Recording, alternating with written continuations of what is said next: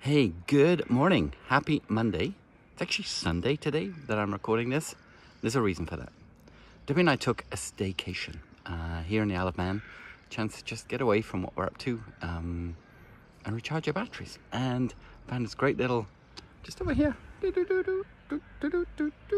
little ground floor apartment. It's beautiful. And I've always loved Port St. Mary. It was where my father was brought up. It's where my ancestors come from and it's such such a cool little town. Truthfully, the Wi-Fi sucks, which is why I'm recording this on Sunday. You'll be watching it on Monday. I had no hope being able to upload this today, but Debbie and I just walked the streets, and this is a very old town. I mean, hundreds and hundreds of years old, and I was coming alive by the rocks, by the stores, remembering town when I was kid, delivering oil to different properties, which are now just residential apartments. And my aunt was telling me a story about my great grandfather who ran a hotel here. And back in the day, he wanted to install electricity. Mm. But the lady who owned the hotel went, no, it doesn't need it. Gas lamps are fine. So at 60 years old, he built his own hotel. If you see it there, big, uh, further over, but further over, right over there, just about, just about there, the Point Hotel. He built it. My great aunt Edith ran it, and then my aunt Barbara, Uncle Derek, they ran it. It's now sold. It's apartments. You know, the world has evolved, and I think so many people in marketing are still pre-COVID. They want to be post-COVID. They don't know how to change their marketing. And this hotel here, this was a stunner. I remember delivering oil to this when I was a kid with my dad. It's been closed for 30 years. How many businesses are closed right now? It's just shocking. But at the same time, this is a beautiful world. I mean, this is Chapel Bay Beach. I mean, it's one of the nicest beaches on the Isle of Man. Nobody knows about it.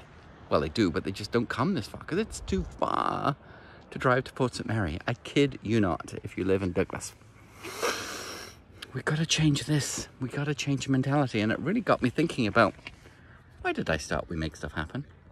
Was it just that I was needing to make some money? Yes.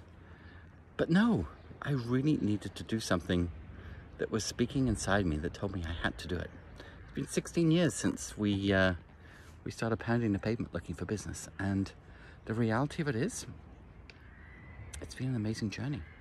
We're now a team of great people from all over Europe. I'm about to be walked by a lady with a lovely looking dog. So just making a video, so good. hey guy, hi. And um, I guess my first love is small businesses.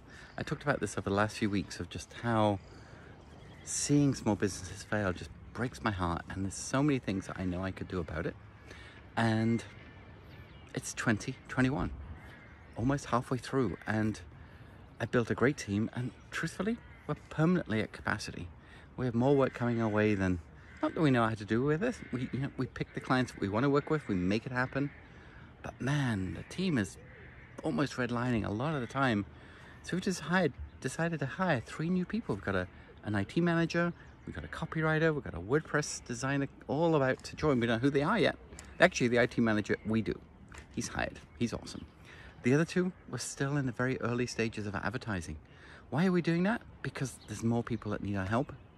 I know how to make money, but you know, life isn't always just about money. Life is about have to think about it. Life is about purpose, living your passion. And if you make profit, awesome. But it doesn't have to be huge profit. It could be just enough to make you comfortable. And if that's okay for you, I'm okay with that too. You don't need this 24 hour a day hustle or side hustle or whatever it is. Remember when people used to have a second job? Now it's like, oh, I have a side hustle. It's a second job. You know, my daughter has a second job. That's okay. She's trying to make ends meet in Calgary. Proud of her for doing it, right? So I'm kind of making a stand today in the city of my forefathers that we need to do more. As a company, we need to do more and we're hiring to be able to do more. We're hiring to be able to bring people into our culture. Maybe you, maybe you don't even know what our culture is, but you know, we're very much a family first business. Um, Debbie and I run it equally together, always have done. Quite often it's always me, but in the background it's Debbie. A lot of the decisions are made because of what we've discussed and her intuition, and they're always being the right ones. So we're coming out this week in a, in a new way. We're hiring some more people so we can do more. We've got social media training, we've got website building, we've got SEO, we've got business mindset. That you know, been in business and as an entrepreneur, my goodness, you know, best part of 40 years. I know what works. I know how people work. I know how you can get people to want to buy from you. I also know how to not do things, you know. I'm really finding this work-life blend and even though I'm making a video on a Sunday, it's because I've been thinking about it all day and I just formulated enough that, you know, I do it. I never have scripts when I make recordings and uh, I'll teach for an hour once a week. I'll never have a script because I know my craft. My craft is to help you live your passion and your purpose. So just coming up on six minutes here. If, uh, if you're looking for some help and we can help, you know what, we will. But hold tight. The world's starting to open up. I think June is going to be a watershed here in the UK as to whether they can really open up or whether this uh, new variant is really going to knock everybody back again. Who knows? But uh, I think the vaccine's getting out there. I think a lot of people are getting this herd immunity. It's going to be good. This fall is when it really all happens. I really do believe that as we go into the third quarter of 2021, life as we know it will be gone. Life as we should know it, as we do things properly, will begin and we'll be ready. So I hope you're having a great day.